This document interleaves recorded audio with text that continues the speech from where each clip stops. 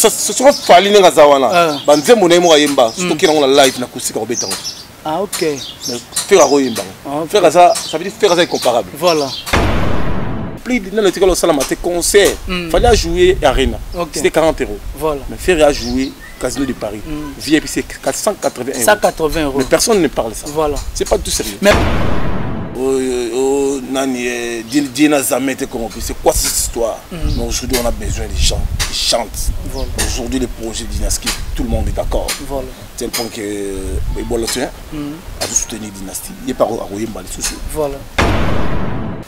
nazoyebisa yo fali na minute oyo aza na audience te ah. nazoyebisa yo aza na audience te na minute oyo audience eza pa ferre moto azobeta eza eza le padre oyo azocontrole ville abeti de fois chetemba dega matériel ake na olive olivert olivert eza bien olive olive ça veut dire que kuna eza baobat voilà eh, bonne odeur voilà. ça veut dire kuna bato bakima yango voilà. parce que kuna c'est la classe de la différence voilà. oza na bilamba nini opresente oza na voix nini oza na œuvre nini opresente voilà oyo okopresente euh, ça veut dire que carnet eza bombe eh, botalelanga kongo température ya mama rosette la fleur na dambu kongo température eye na mopepe ya sika yaye atobi na ye kongo te eye na mopepe ya sika pepe ya sika yaye atobi na ye kongo te Voilà, vous suivez partout dans le monde entier votre chaîne que vous aimez beaucoup, Congo Température TV, Otolobi, Vitesse au Wap. pi na ndenga moke te nayebi te bandeko baza telme ebele balingaka héritier ibula moyaka na bango nyonso apocho poster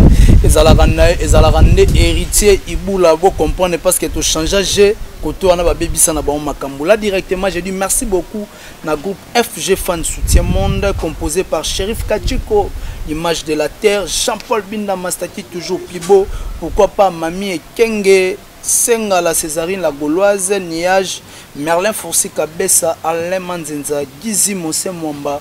Nayebi ke mutu nyoso oyo na posa kota na groupe FG Fan Soutien Monde, obengi ka Guy Denise na 0033 641 94 66 90 wana okozala mobimba bakoyamba yo vraiment na kati ya groupe FG fan soutien monde là directement je vois ba vrai vrai ya héritier iboula acteur rugen sans peur homme vrai pourquoi pas na luda chris fila l'aspect des états-unis merci beaucoup à joe fils papa social nzungu ya man motema ya rite la cadette nzungu ya man pourquoi pas lucas chikito le patron silencieux motema ya ariana la chocolino la douce merci beaucoup na mokonzi ya mboka le tout puissant champion wadol Aujourd'hui moi Heritier Ibula par rapport à l'actualité musicale Ferre Gola ozo ko annoncer le biso kala mingi o annoncer biso déjà o toyebi double album toza na harmonie na dynastie harmonie oyo eza bongo album urbaine oyo tobengaka album international oyo bandeko balingaka mingi toloba et puis dynastie eza collaboration ya Ferre Gola ye na bandeko na ye oyo invité bango mais par rapport aussi Ferre Gola le 7 novembre akozala bongo na Casino de Paris bandeko mpe bakanga le 30 juin oyo Ferre Gola akozala en direct akobeta concert en direct na page moko ya Facebook oyo na bosene mpe mwa kombo nango bato bakolanda non koi page koi en tout cas bato le 30 pona lipanda ntuka bozala branche wana bolanda ekosala kitoko na elengi par rapport à actualité musicale moi héritier libula aujourd'hui je reçois pour vous pacho rfi mwana moteketa que je le dis directement bonjour pacho rfi Bonjour à tout le monde, bonjour dans la finance, bonjour Penayo. Merci. Merci na bandeko nyonso basomba na biso face au monde entier donc euh, Nzambe apambola bango na ndenge tokutani. Mm -hmm.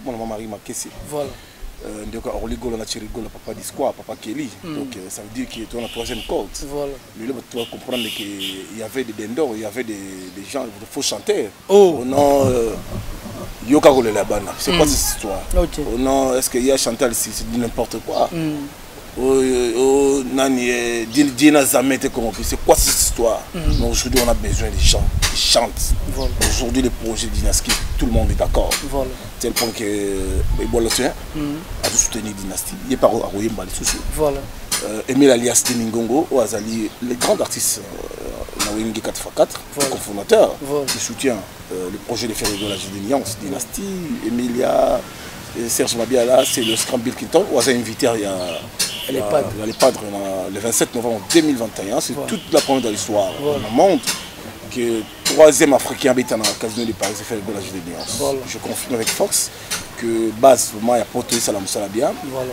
ba ceceli nsenga ba mami ekenge ba jean paul mastic jean paul binda mastati euh, toujours plus beau que le nuage kudia donc voilà. tout donc euh, baosala boulot na fanta fana mm. manuel kalonji voilà. marike libiki ça veut dire bango tout voilà. baosala bina boulot ezomonana donc pacho refi euh, jp mindele big manager toza na force de frappe ça veut dire que contrôle na minute oyo nazoyebisa yo fali na minute oyo aza na audience te ah. nazoyebisa yo aza na audience te na minute oyo audience eza pa ferre voilà. pourquoi ferre liboso ezalaki ere asalaki 4 minutes asangaki base solide okay. azalaki noka délaissé voilà. soki alargue bord mm. ebeti mais promotion eza te voilà. pour utiliser ken mbuta likasu il a attaqué mm. na, na bagloire olangi il a attaqué l'artiste fait rigola okay. quand pacho refi a dit a décidé mm. nzambe aza témoin okay. mabele mpe eza témoin voilà. bakoko mpe bazoyoka mm. mokili momezomona okay. quand j'ai décidé de soutenir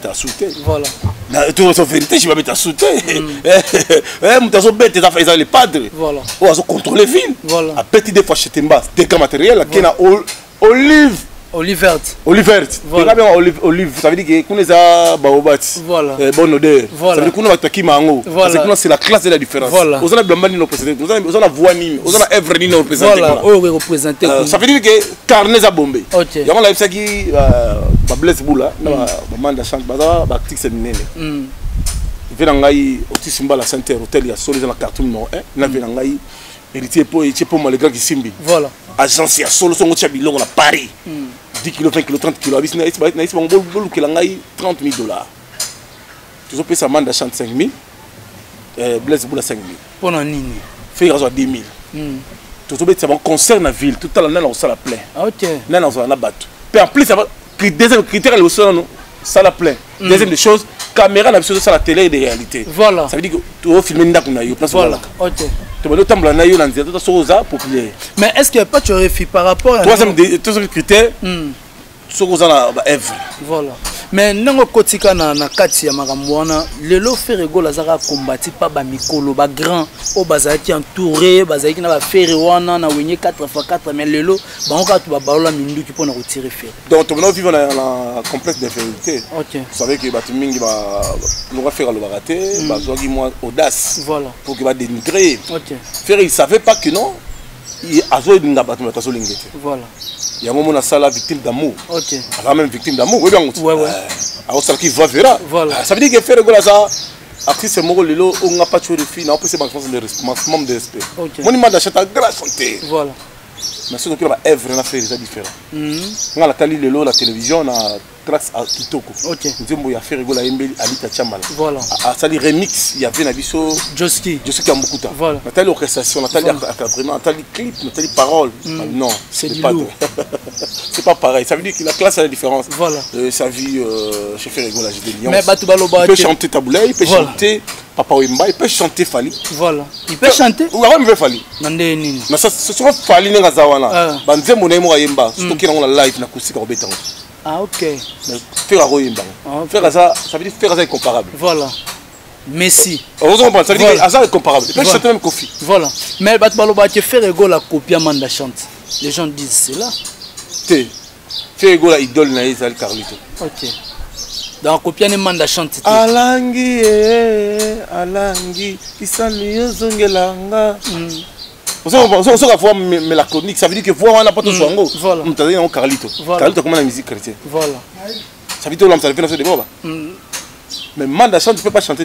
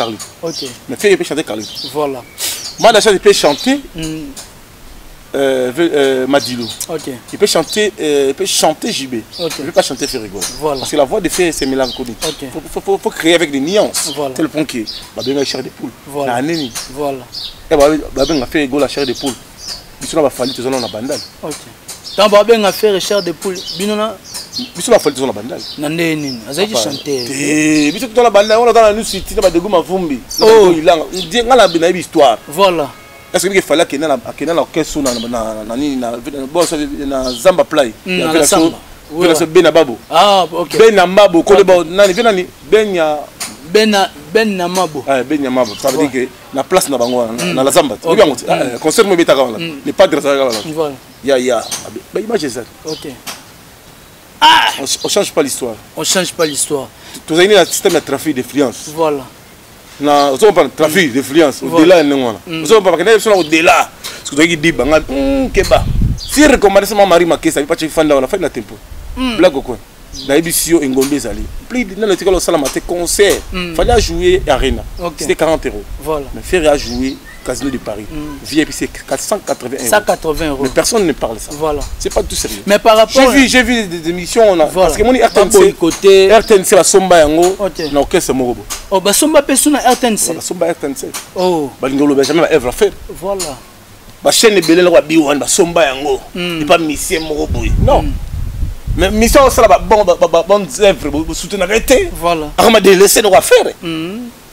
mais esalaka yo ndeni komona bandeko na yo oyo ya presse comportement na bango ezala bonke basomba bango mpe artiste mo baza basenzi bata nzala bata nzala bata likengu bata nketo babie botomboka no mpe bapesaka 10 dollars yango bobebana te bapesanga 10 dollars te ngai naza journaliste investigation naza journaliste oyo naza bien na bato bien mm. quand je vois un bêtise je, okay. je, je m'en détache okay. moi je joue dans l'équipe qui gagne parce que vous donnez pas l'impression de gagner moi je me détache voilà. parce que moi pas tu refis je suis un journaliste bien formé okay. et en même temps naza na papier na nga voilà. naza mpe moto oyo naza moto ya bato mm. je parle les choses que je vois okay. quand je vois que non tu es désolé tout ça je m'en dis parce que moi okopesa nga ni chemise naza nango voilà. pantalon naza bandako naza nango okay. motuka naza nango mm. bajeep nasomba yango babisi ezali mm. bana na mikili na mwana na états-unis balenge baza na suisse na minute oyo force mobali ye wana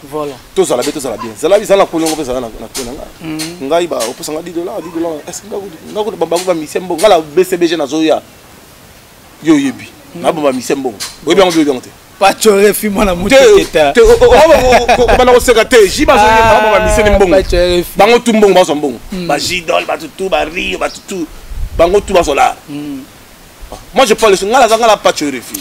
Patcho refi oza patcho refi bande ko ba kolanda yo. Le le projet ya ferre ya dynastie oyo abengisi ba Bill Clinton, ba Serge Mabiala. Obi papi kakola ça zanga ça na nzembo. Papi kakola oui. Na sengi ba sous deuxième nzembo. C'est ça lengi. C'est quoi impression eza na initiative ya ferre. Na soutenir projet on eza kitoko makasi. Na sepeli pe na bolotin, bolotin vraiment aza aza pena nyama na etumba na sengi ngape na osenga pena euh, na faire egola jide nuance mm. après dynastie oyo mm. ndenge mm. bolontin oyemba mm. a invité na paris a invité bolontin na paris na, na casino, casino de paris eh, lokola jibe ainvitaka suzuki mm. na, na zenith voilà yo zape eza mpe ida bien mais nga kolo histo nga kolo kolo stratégie voilà mais ekosala o ndenge nini komona faire egola na casino de paris oyo akobetela biso musique symphonique oyo eza place oyo place moko noble eza euh, salle moko prestigieux de l'europe oyo bato ebele babulaka babeta yango mais nakosenga d'abord nakosenga nano affaire ego la concert ya casino de paris falata mpe mpembe fata croise ya pembe oh, alata pembe pembe mais eza eza eza eza ye moto afungoli ti hmm. afungoli histoire euh, ya parce que ya un peu 12 euh, ans hmm. musique ebetaka te que bacombatant batelemelaki histoire ke musique ekobeta te hmm. tel point que euh, Fally oyebi abetaki na arena mm. je vis ferregola mm. bato tu basoutenir ye voilà pourquoi pas fallait asala vidéo pour mm. soutenir ferregola na casino de paris ezalaka kimotema mabe parce que j'avais vu mais tout le monde même papa chéri bato tu mm. basala vidéo soutenir fallait voilà vous comprenez mm. na kati ya arena mm. parce qu'il y avait un peu euh, envoûtement moko sosolei mm. oyo nga pati oyefi na kote lango baprière pa efek pasala mokona voilà nasenga papa déclaré papa déclaré mm. bino boza banani nzambe ya ngai ya evêque pascal mukulu mm. nazoloba na bino nokola na kati ya mboka na biso toza na combattant mm. komone faci be beton naza na mboka oyo quand même asimbi mboka bosengaki mm. atenas esalami mm. nalobi makambo wana reginini moragie wana ekatani mm. ekatani boketya bima boye coup de tête azitaki babloke moka mokamate kota kuna na babusi ozo comprendre na minute oyo paris sécurité eza kosakana te bato bawuti baconfinement baza na stress Parce que le padre frappe encore, je voilà. dis nuance. Mm. tope satan na temps tope satan na temps sortie médiatique ya ferregola auti koleka de dimanche na baémission awa euh, tomoni polémique vraiment esalami te par rapport ya artiste mosusu alekaki ya leka na sortie médiatique naye ezalaki c'est pas le moment mais écria babétise tomona bototi neya bamakambo ebele mais tomoni sortie médiatique ya ferigola oyo esali mpe bien mais ferigola abeti lisolo mpe ya babien na ye esalaki yo ndeni bon ferigola aza patron c'est patron aza posé hmm. très posé aza très mayama mayele makasi feri atinda famille to na poto mm. yango nga mpe patio refuge mibaa mm. ozobunda otinda mpe lisusu bandeko na poto natindi baleki baza mibale aza poto na mwana nga natinda mwana nga na poto nga patio yo moko ngai ko mm. naza guerrier naza acteur ya film nazobuda mpe bana kakeni mpe atinda yaye mpe akenda poto na bana yaka bongo te nani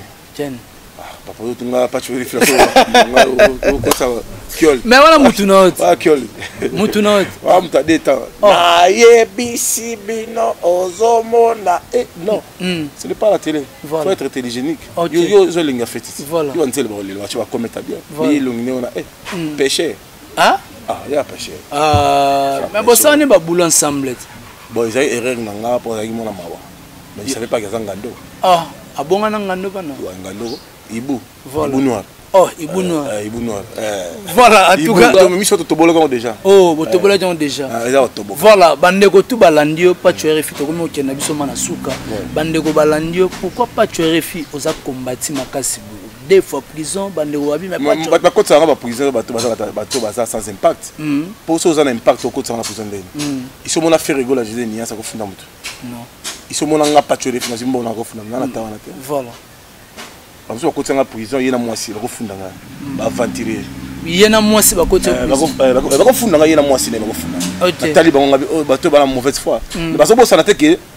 na aida bango mm. ndenge bakotisaki nga na prison mm. nasengaki kaka nzambe na binzambe ofrande oyo nazotya mm.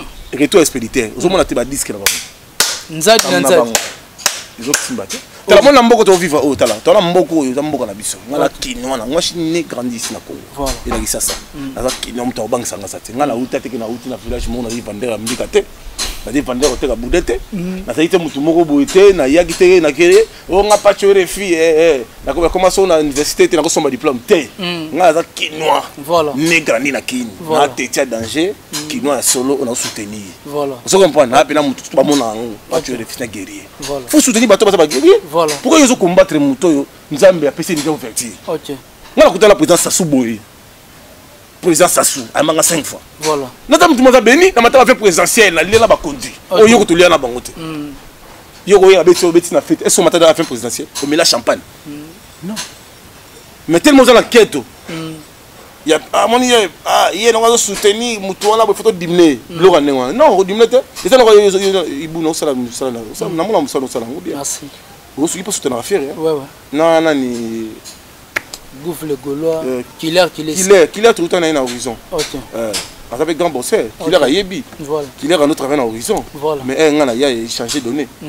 audience to sponsor emati mm. ça veut dire quand ngai nayaka place yaka na moto yo moto na ye mama ko faire gola sponsor le 30 juin mm. oza congo mais ngai nayaka na mopepeti ngai aza lumière pas tueur efi mais lumière voilà yo moto na simba rtv emataki te voilà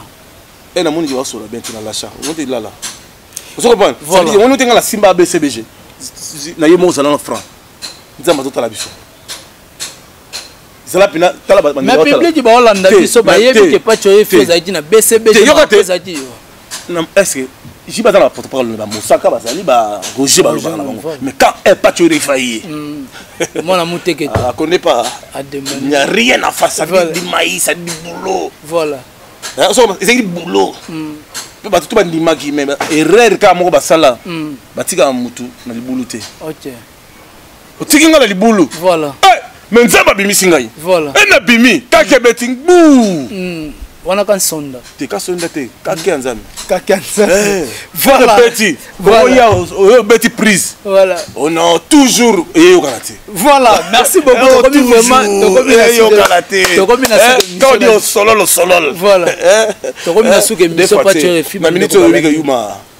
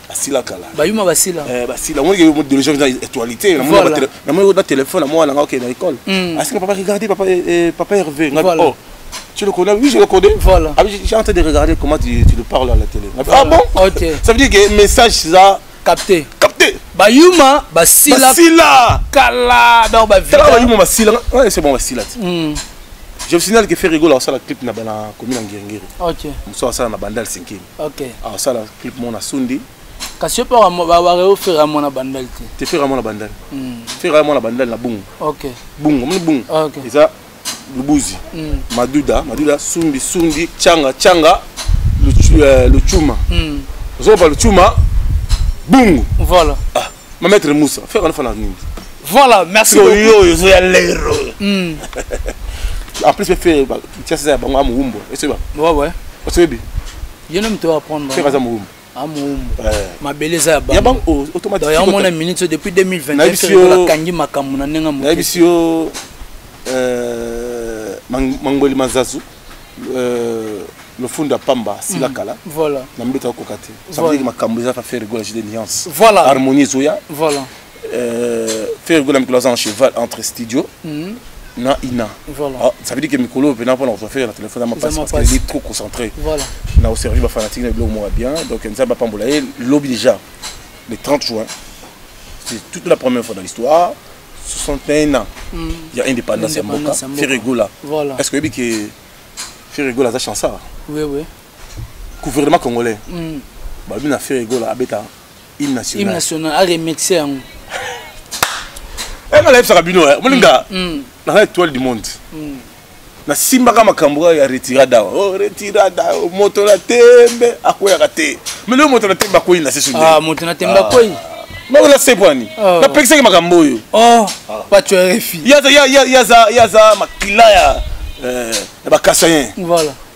ye mpena aza aza mpena kasayen de nature hmm. ya kozonga nsima te oh. oye azali moto na te hmm. akweya suna se ndenge nini abebisi mikila oh. ah! tula masa voilà ah, tula masa force oh. héritier poma le grand kisimbi agence ya solo yango wana hmm. ah, bobo mukuna trésor mukuna le valable force Toto Mbiye Timbo les réseaux depuis demander Yasmine Mianda Motema Alex Muni balobi moto ya mbongo na kati ya na London bive yonga le propriétaire hein balobi Jean Paul Mastic Mastaki ah Masaki nga bebe Mastic parce qu'il y a kotaka voilà force yoyebi voilà.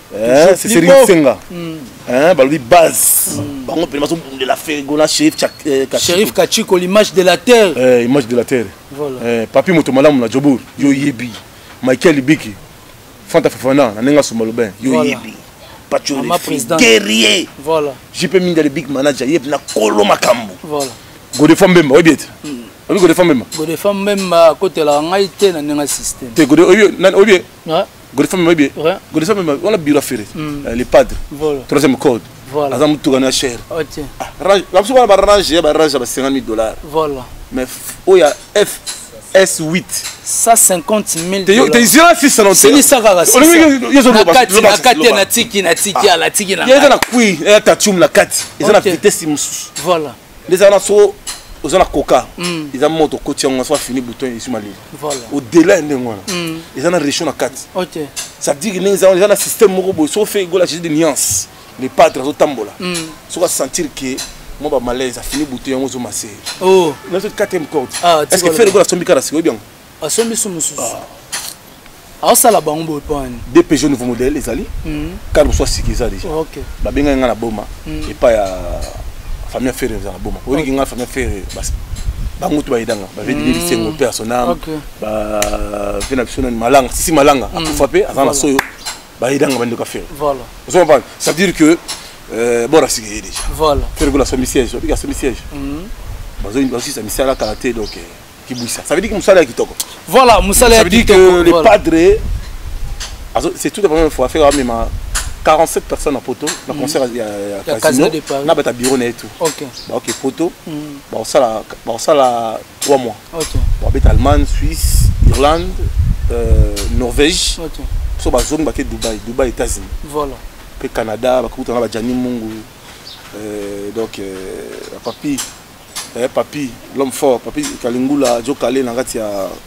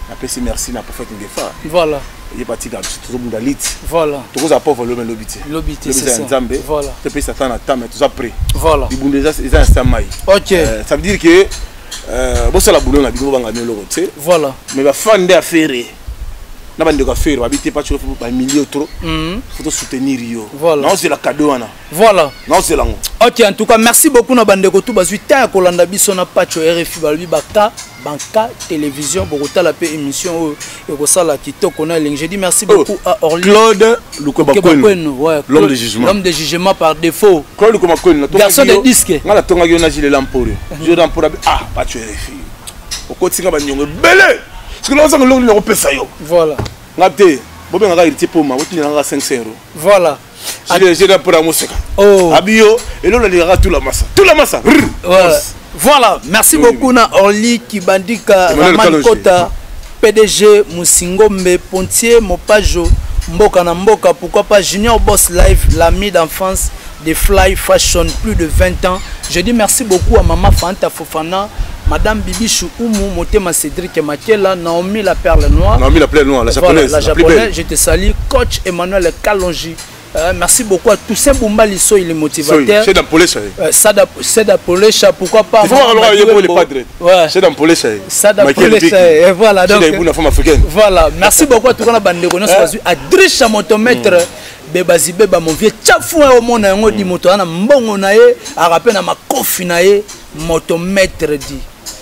yo ozalaka vraimen motemete bacomédien babwakaka na bango bato ya mbongo mai na bamatanga bamonanaka te ezalaka yo adresha motomete merci beaucoup voilà muninga ya ngada na ngadius voilà na apo firenze na apo firenze tambongo oyo aleki ba communauté na mbongo voilà apo firenze oh eh, apo firenze mutu na ngai voilà merci beaucoup na groupe FG fan soutien monde pacho RFI il faut le belango voilà fans euh, soutien monde ezali soki oza na mbongo mpe voilà. biloko na yango tinda mm. makambo eza mami ekenga aza wana voilà mami ekenga aza na ye wana donc euh, ah, masike voilà jean paul binda mastaki donc ah, euh, mastaki voilà toza malamu merci beaucoup na ah. prophète en tout cas niage kudia oyebi ah, niage ah. kati voilà bango tout bana kati ya groupe d'affiché c'est bien c'est bien voilà en tout cas merci beaucoup na musée na sima caméra herve bositampene tomonani soki nzambe azongi nanu te